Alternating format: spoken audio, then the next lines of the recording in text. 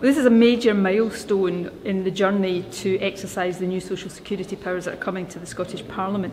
Uh, today we're announcing the locations of the new Central Social Security Agency. We've chosen two locations to make it as resilient as possible. Uh, the headquarters will be in Dundee and the second location will be in Glasgow. And together uh, these sites will involve 1,500 jobs. So these are uh, massive uh, announcements for the economic impact as well as the importance of delivering 2.9 billion pounds worth of benefits to 1.4 million people across the country. Well, the people I've met here in Dundee today are people who are providing health service, uh, health services to people, money advice, welfare rights advice, uh, people who are providing support and services to carers, just as examples. And they're doing that in a very joined up and integrated way. And that also uh, makes Dundee a really good location for the new Social Security Agency headquarters.